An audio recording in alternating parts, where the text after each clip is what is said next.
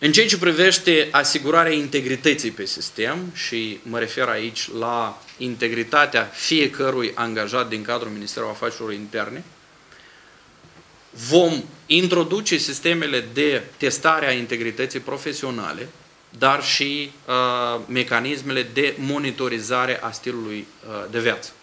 După cum am menționat anterior, în decembrie Parlamentul deja a adoptat legile noi.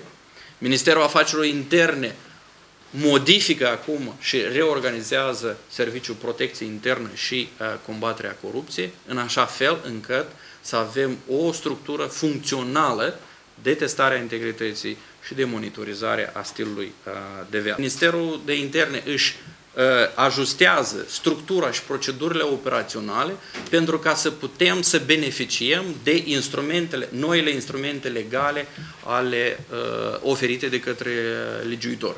Asta se întâmplă. Și actualul șef, domnul Maiduc, va fi păstrat în acest Domnul, domnul Maiduc nu mai lucrează la Ministerul Afacerilor Interne odată cu aceste schimbări care au intervenit. A fost alegerea lui personală. Dar a fost informat atunci când s-a decis restructurarea serviciului, pentru că noi deținem informații că domnia sa se afla în concediu. Deci, haideți să procedăm în, în felul următor.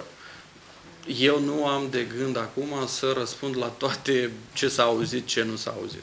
Deci Serviciul uh, Protecției Internă și Combaterea Corupției, dacă vă amintiți, în luna ianuarie încă a fost adoptată o nouă hotărâre de guvern prin care s-a dispus reorganizarea uh, subdiviziunii de securitate internă de la Ministerul Afacerilor Interne și dacă vă amintiți, atunci tot așa a fost prezentată, ca o ajustare la noile instrumente necesare pentru ca să uh, utilizăm în cadrul legal testul de integritate și uh, monitorizarea stilului de viață.